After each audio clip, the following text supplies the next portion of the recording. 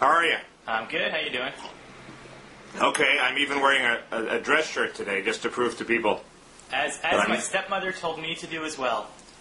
I'm not wearing my pajamas. Yeah. Uh, although Although you could be. I could be. Yeah. That's right. You don't know. Yeah. Uh, anyway, um, I guess the first topic up is uh, this big, allegedly big New York Times story about uh, the classified NSA spying on Americans. You've written a lot about it. Yeah. Uh, my take is my in- instinct is that there's less to this than seems than the New York Times thinks there is. yeah. Okay. Uh, go ahead. Yeah, no, uh, um, you might be right. I mean, I was, um, as I as I mentioned on my blog, um, I, I was uh, talking to a um, a law professor, a liberal law professor, who specializes in national security law, who who actually pointed out that um, this is not obviously unconstitutional, um, and it's something that. You know, I was watching the Sunday news programs. Everybody, I, I think, seems to kind of be getting that wrong. Doesn't mean it is necessarily unconstitutional, but that it's a, a very obviously sort of undecided area, undeclared area. Well, I, I, the key, the first key thing seems to me that they're not targeting communications between Americans. So if I phone you, the NSA isn't intercepting that. It's only if it has some, you know, it's a communication between the United States and abroad, Right. which seems to me already puts it in sort of a murky gray area, and uh, and also dramatically limits the scope. So it's not like the activities in Vietnam where the the uh, Defense Department was not only monitoring but disrupting anti-war activities. Uh, it's a far cry from that. Yeah, I mean, you know, they're not looking around. What is it, Daniel Ellsberg's, you know, his shrinks files or whatever. Um, but uh, but that doesn't mean. I, I, I mean, yeah, I, I suspect that it was probably limited. It was sort of very murky. But the, the real question is, why did they need to do that? And, and there might be a good answer to this, by the way. But why did they need to do it as opposed to going through, you know, FISA, the National Security Court? Do, do you know the answer Well- to that? And actually, Bobby Inman, that's the great mystery. And, and Bobby Inman, who was the head of the NSA, uh, was quoted with a very reasonable quote saying, uh, look, before, before they had the Patriot Act, when the standard of proof was high, you could see where they'd want to get around the court. But now, why do they have to do it? I tend to think the answer is probably if you find Abu Zubaydah's phone book, Yeah. you want to tap those people immediately before news gets out that we have Abu Zubaydah's phone book.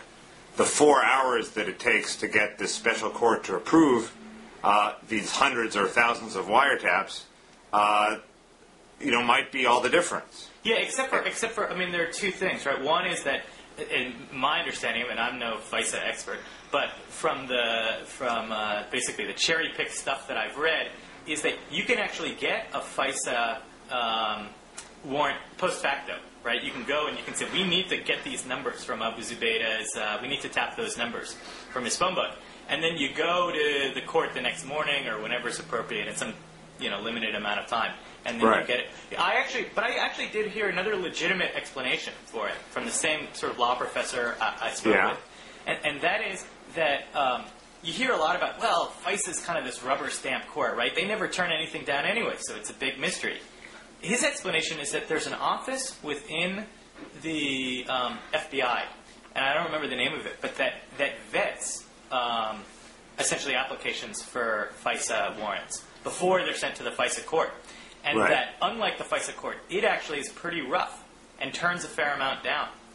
So, Well, I think they got um, they, they got a lot of grief from the FISA court in the Moussaoui case, didn't they? They were they were very paranoid about going to it. well, I think that's the thing is that they were par- there was this sort of bureaucratic inertia about it, right? They were afraid to do it. Doesn't mean they were going to get turned down, but yeah, there was this sort of bureaucratic, whatever it was, timidity. Um, but uh, but anyway, so it, it's possible that they you know said, look, there's just too much kind of you call it red tape, whatever you want, um, and so they just said screw it, you know, and we don't need to go through all this stuff. It, it's it's also possible that the administration is trying to make a point about executive power, and they don't want to even concede the principle that they should try to get this Yeah, except that they kept it secret from you know 2002 until now. So it's not. I don't know what kind of point you're. Well, they briefed the members of Congress. There's Right. that's the second the second element of hypocrisy. The first element is it's not Big Brother snooping on Americans talking to Americans. The second element is that a lot of members of Congress knew about it. I don't know about a lot of members of Congress. And I don't, I don't know if you saw it was in today's, I, I think, Washington Post, where um, Bob Graham said, Yeah. well, I, I was at the meeting where they say they talked about it, and, you know, I don't remember them saying that they were spying on Americans. I just thought that they were going through, he basically said, like, going through American um, uh, kind of telephone links. Essentially, it was American wires, but it was foreign citizens, right? And it was foreign abroad. And basically, some not of some administration official called him a liar and said, you know, he's misremembering the briefing. Uh, Huh. I, I have no idea what went on there, but Since- it seems since Bob- Since Bob Graham remembers every piece of toast he's ever written, ever eaten, I'm just saying, Uh, it's think- murky how much how much Congress was told about it. Maybe they were. I have no idea. Yeah. Well, one thing I wonder about is the, is there a connection to this program Echelon in Europe? Uh, Echelon was a program whereby we basically ran every, as I understand it, every fax, email, and phone conversation on the entire continent through these big computers to try to like like search for keywords Right. like you know Right. bomb and terrorist and Osama, I guess. Yeah. Uh, I was wondering if I've always wondered why they didn't apply this technology if it works to the United States. Well, because it's unconstitutional, right? Right, but Yeah. uh, well, or it might be a gray area. I'm wondering if this might be the first inroad. In other words, you get Abu Zubaydah's phone book, right? There, there are a hundred names in it. Right. You probably don't have a hundred agents to monitor them around the clock, so they probably are using the same computers, right? Uh, you got me. I mean, I don't know. I mean, the, the question is the, the numbers that they were talking about were, you know, in the New York Times, this sort of vague reference to it. What a few hundred people they set up to up to right, 500 people at a time. Right, at a time. Right. So uh, I got I got no idea how you monitor it. Uh, by the way, what do you think about the the New York Times' take on this? That they sat on it for a year, right, and then they decided that this is you know of such national interest um, that we have to publish it, and, and the national security things are, you know, are, are not overriding concerns. Well, the left is going crazy about that because they think it, might have helped uh, Kerry win an election if it had come out Right, but then there's the, there's the right version of it, which is you know this uh, that it was all about a book that was coming out, basically. That they turned Right, into a and, book. and uh, I, I I doubt that the New York Times held anything back in order to help Bush beat Kerry. So I would think that the book, uh, the book would be more important. But I, you know, people have legitimate con- security concerns. I, you know, sincerity is always the least suspected motive right. in these things. And I, you know, Keller's a pretty straight guy. I would tend to think that that they were actually just worried about it. Uh, but um, it is sort of the direct anal- analogy to the Pentagon Papers case, where they, they didn't heed the administration's concerns, uh, and here they did. Uh, the Times is also it's, it's, it's incredibly self-important about this. There's an amazing paragraph which I'm now going to read from David Sanger's story Yeah. where he ba- not only took credit for this revelation uh, producing the vote against the Patriot Act in the Senate, he took credit for, for something much more. He took credit basically uh, for uh, the New York Times' a story prompting a drawdown of troops in Iraq. It says, but on Friday, as the debate in Washington swirled over the president's order to the NSA, General George W. Casey, the top American commander in Iraq, hinted that further reductions may be on the way. Those, that's further reductions in troops. Right. Uh, you know, this is um, an incredible abuse of the comes at a time conceit. Right, you know? right. Well, it's, but, it, but if that's not that, that's that's trying to link one another. I don't know that it's the Times trying to claim credit for it. I mean, it's Well, sure. Well, but, but the NSA kind of had nothing to do with what General Casey said. correct, but but that just means that he's taking some sort of you know view of I don't know what what would the logic be. Essentially, he, he- he's trying to sort of celebrate all these things coming together. But he, um, is he really saying the New York Times is the sort of agent behind it I, all? I think implicitly. I mean, I could write, you know, uh, you know, on a Friday after I blogged about this item, General Casey reduced the troops, and then I, you know, why would I write that except to take bogus credit for having General Casey reducing the troops? or or, you know, look, it's been a a, a, week. What would the connection be?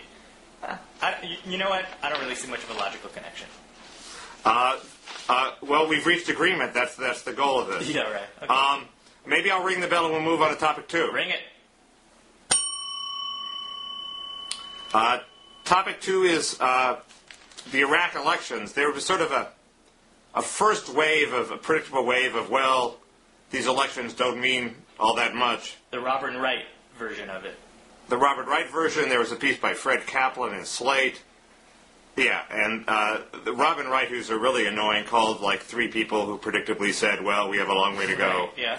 Uh, and then um, now there's sort of a, a third wave of of people in, uh, like uh, Bill Kristol at the Weekly Standard and Lawrence Kaplan of the New Republic Although- saying, "Well, maybe we have turned a corner." Yeah, but if you if you actually look at, I mean, you know, what what that that uh, Weekly Standard piece was, is it was sort of culling together quotes actually from from mostly from John Burns, from Dexter Filkins, right from the, the Washington Post, the New York Times, mainly, I think.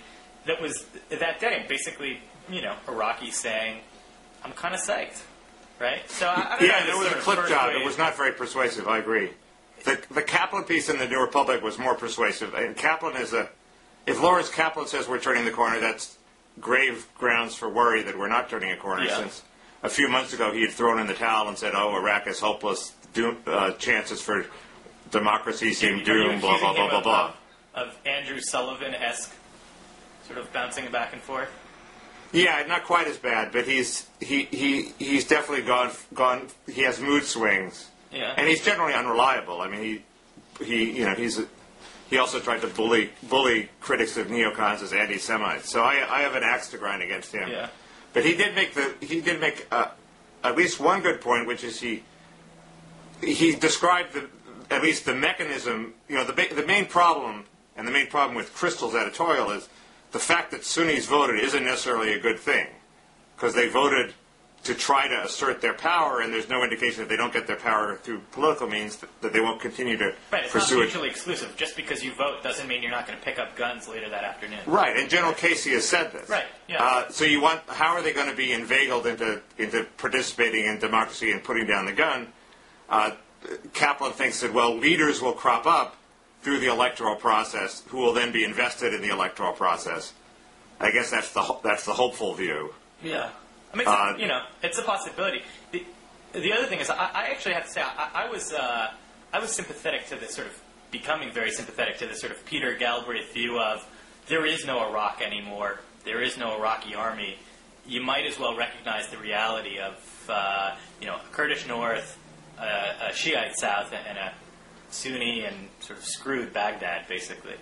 Um, and I don't know. You, you actually didn't you see some quotes there giving you a little bit of hope that it was not necessarily as sort of deterministically sectarian as that. Maybe I'm maybe I'm being foolishly optimistic. No, I think that's right, and I think we'll see. Uh, we'll see how the vote goes. The, the the trouble is that the votes of the the secular, non-sectarian Iraqis may go to Allawi, Yeah. And I'm very troubled by that because uh, he seems a he seems corrupt, and b there are two kinds of corruption. There's the corrupt guy who nevertheless delivers the services and skims off the top, and the corrupt guy who's so corrupt that the services never even get delivered. And he seems sort of the second form of corruption Yeah. people were not impressed with his first tenure as prime minister. Yeah, and, and yet he's the he's the sort of you know bright shining hope of. Uh, Well, that that's the trouble, Yeah. and and, and the, his strongest critics, of course, are the neocons. Uh, the the, the pro Chalabi people are constantly saying that Allawi's a thug and corrupt. Uh, presume they they claim that Chalabi is less of a thug and less corrupt. There, there was But- actually a. Uh, did, I don't know if you saw, but there was initially a some sort of kind of I think um, not very scientific exit poll that was done by Reuters that was talking about a high um, that that uh, that Allawi got a good percentage.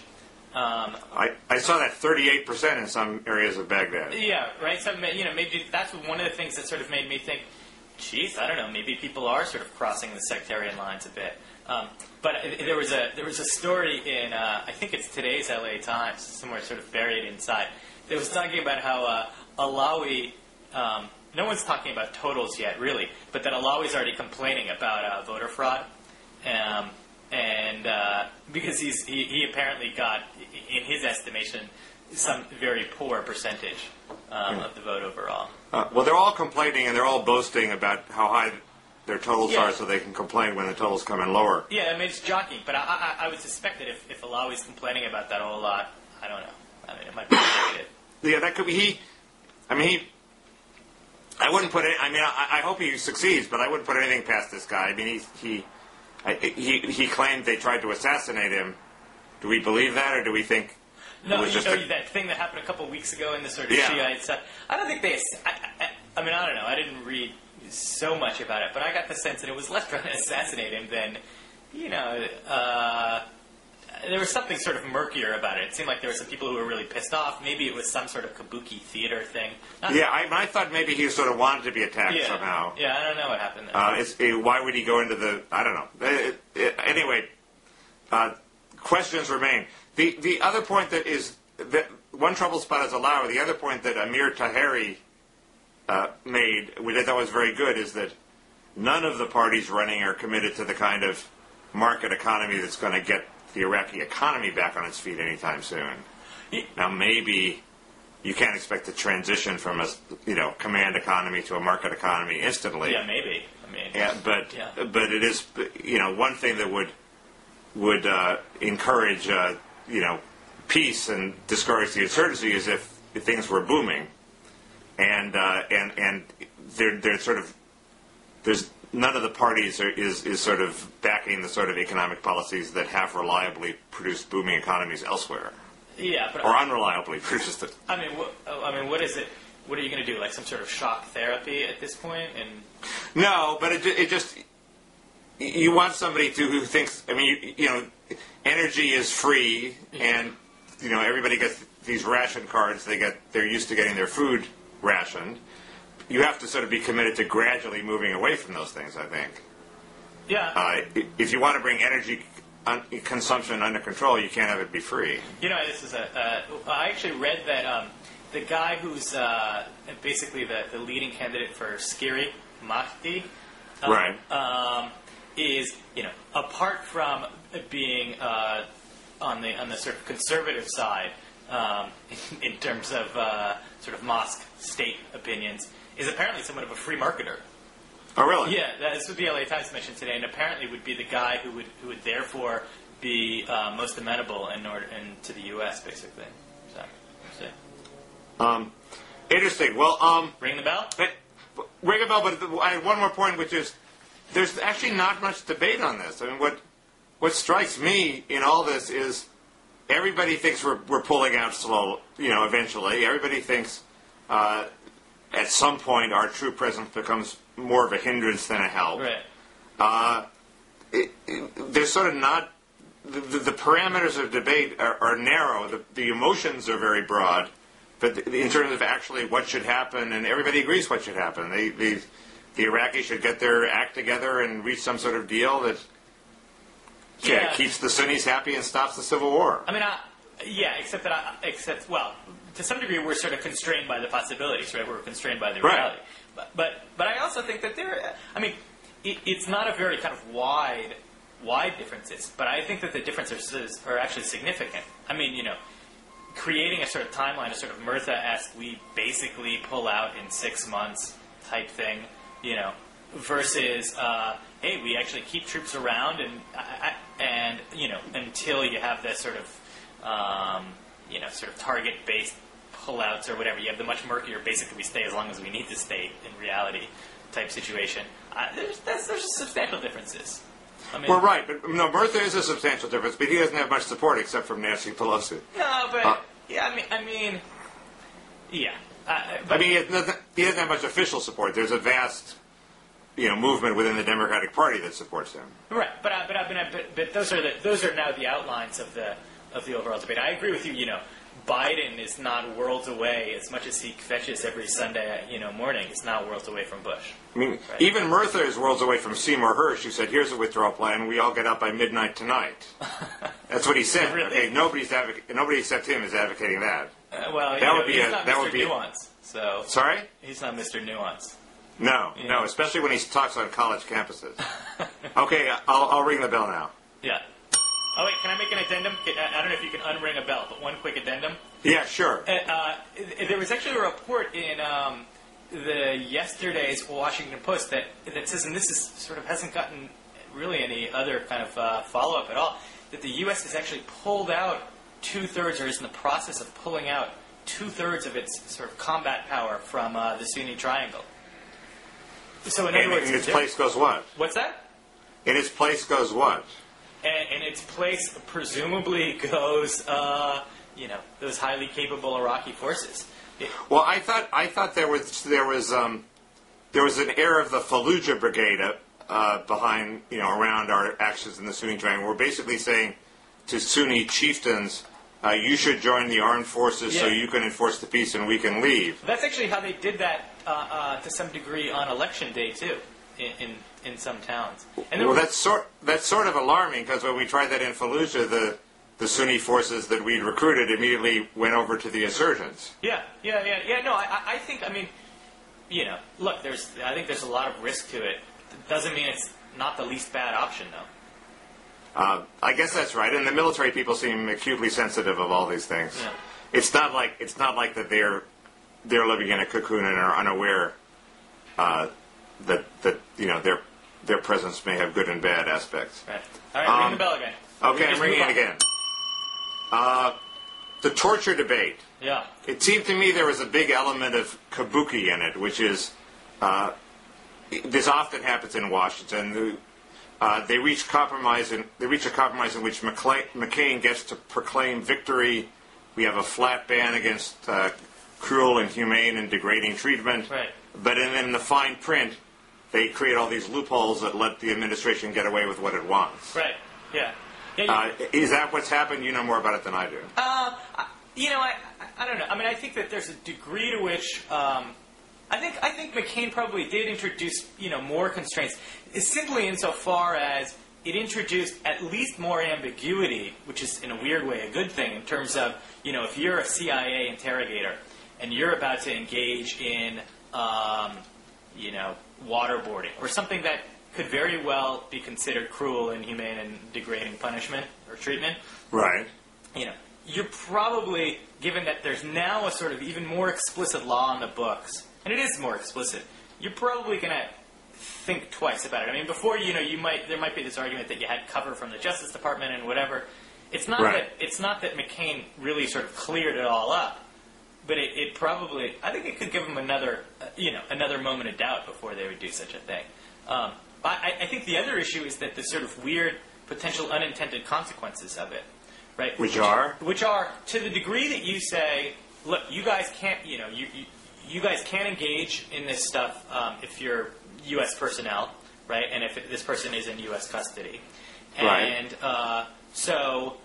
Um, a- oh, and by the way, there's this other less noticed provision that also went through, right? That said, um, not as McCain, but as part of another amendment to the uh, defense bill, that said, oh, and by the way, um, uh, testimony gained through coercion is a-okay, right? It- it- Right. Emily Bazelon wrote about that for Slate. Right. Emily Bazelon wrote about that for Slate. The, uh, but but let's put that to the s- aside. no, no, no, because I, I actually think that they're connected. Because Okay. if you take those things together, right?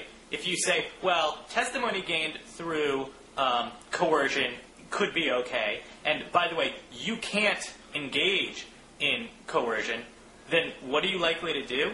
Well, ship them abroad. you're likely to ship them abroad. And by the way, McCain doesn't say squat about rendition, about uh, shipping people abroad. It used to. It used to in its original language, but that rendition language was taken out. Well, that's very interesting. Uh, of course, the same situation sort of applies in standard Fourth Amendment law, where uh, I think if the police can't search your house, but if some private citizen goes searches your house, the police can use the evidence at trial under some circumstances. You know more about that than me. But but torture is a much more severe act with graver consequences to our position in the world. Right. So I, I just think that it, it, it clearly increases the incentives, the sort of structural incentives for you know shipping some dude off to Egypt or Syria or wherever. that's very interesting. Yeah. Um, uh, I want to move on to uh, another topic. So I'm going to ring the bell. Ring it. The Barrett report. Uh, there's the special prosecutor who investigated Henry Cisneros way back in the Clinton administration is still in business, and he's still in business because he claims to have uncovered uh, nefarious, politicized wrongdoing in the IRS. Uh, he's written a report. It's been sitting around. Uh, Democrats in Congress have been trying to prevent him from releasing it. It seems an open and shut case that if we've you know, this guy did go off the off the rails. He he maybe wasn't a good special prosecutor. He spent millions and millions of dollars of the taxpayers' money. We should at least see the report, see what he came up with. Yeah. Uh, it may be a complete nothing burger, uh, but there was enough smoke in the Clinton administration with all the the bimbos that were involved with Clinton somehow getting audited by the IRS that uh, I would want to know: did, was there some funny business going on? But I, I, I read the winger material that you sent me on it, uh, you know, which was somewhat convincing. But It was a Bob Novak column. Is he winger material? uh, I'll, I leave guess- that to our I'll leave that to our viewers. Okay. Um, but what I don't get is why why would Republicans and there were some Republicans who, who agreed to this, right? Who agreed to kind of putting it under the carpet or whatever. Why? Well, they, they agree. They agree. The, the Democratic strategy has been to allow people to petition to get parts of it redacted, and the Republicans say, "Okay, you can redact it if we publish the whole thing." And the worry is that it's going to, you know, be a be a you know one of those things where everything is blacked out, uh, that there won't be much to it. But why and, would uh, Republicans agree to that? the, well, because they, you know, they get along to go along. Maybe they, maybe, maybe there's some dirt. Maybe there's some Republican manipulation of the IRS too that they they don't want out, so that there's a mutual cover up. Cover up. The the source for Novak's column was Charles Grassley. He's a Republican, and he's he's not happy with it. So uh, he he wants the information out, and you know. He, I, I very much, you know, Mike McCurry, Clinton's press secretary, said, look, the reason this didn't happen is because we're not insane.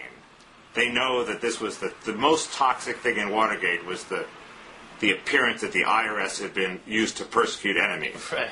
Uh, and, and so the, Clinton would be insane to use the IRS to persecute his enemies. That, but that doesn't mean that some regional director didn't, like, you know, go off on an expedition of his own to overzealously audit Clinton's enemies. Uh, and I want to know that too. Fair enough. So, uh, but I think that's why the, the you know there are all sorts of uh, you scratch my back, I scratch your back deals in Washington that result in the truth not getting out. It's only the power of uh, outsider institutions like Bloggingheads that keeps them honest. That's right. Power to the people. Um, okay. Uh, I have I have one more thing I want to mention, which is uh, uh, I, I we talked a lot about Brokeback Mountain. I talked perhaps too much about Brokeback Mountain, Right. but I predicted that Frank Rich would uh, guilt trip America when Brokeback Mountain didn't do well. But he had a column today. He, he he's still in the preliminary stages, uh, and it's a good test. He says uh, he says it's going to succeed. Uh, he writes, um, he talks about the Los Angeles Times asking, can Brokeback Mountain move that heartland? And he says, this will be answered with a resounding yes. All the signs of a runaway phenomenon are present, from an instant parody on Saturday Night Live to reports that a multiplex in Plano, Texas was sold out. My God. Uh, uh, I think this is a test of how much in the cocoon Frank Rich is. Uh, I claim that uh, it will not be a resounding success. So we'll see in a few weeks uh, who's right and who's wrong. Is America swept with Brokeback Mountain fever? Do they flock to the theaters to see uh, this moving story of a love denied, or or is it a relative commercial flop? I'm, I'm waiting with bated breath to see who's right in this debate. so am I. Yeah. Okay, All right. this has been real. It's been great. Okay, let's uh, uh, let's end it. All right. ta- Talk to you Oh. soon. See you, Eric.